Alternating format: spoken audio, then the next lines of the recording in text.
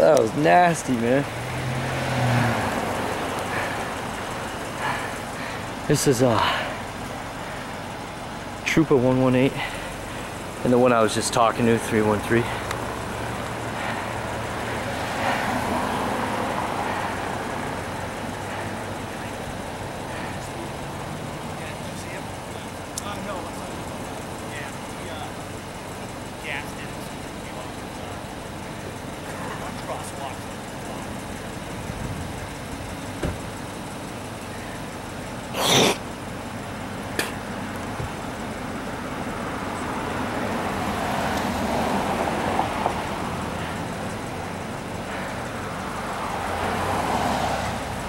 This is JP from New England Cop Chasers. I just humped it like in a mile to get here.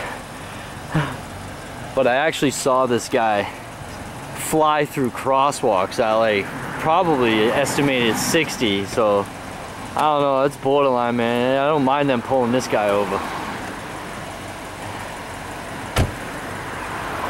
The guy almost, this freaking dude almost hit me and then and then you have the argument about the victimless crime thing you know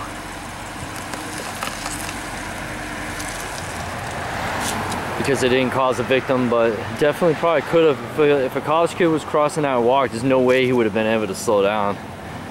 But yeah this guy in the Honda was fucking cruising dude. In a 25 mile an hour zone. I mean even for a libertarian that would be kind of questionable.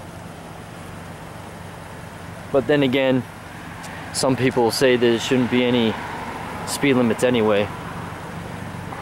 I mean, if you if you have a busy road and you have college kids, I know what New York does and a lot of these other cities, they have like these oval walks. So they don't have to worry about crossing the road.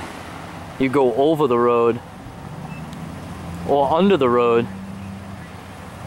You know, that'll probably be the best the best the best route to take.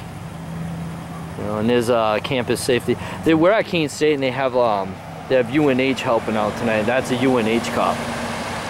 University of New Hampshire.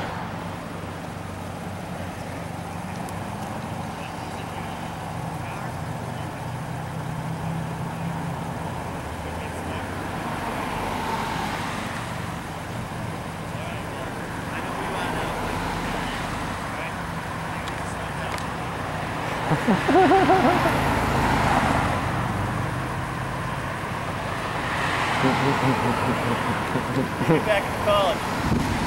yeah. he said, I'll meet you back at the college.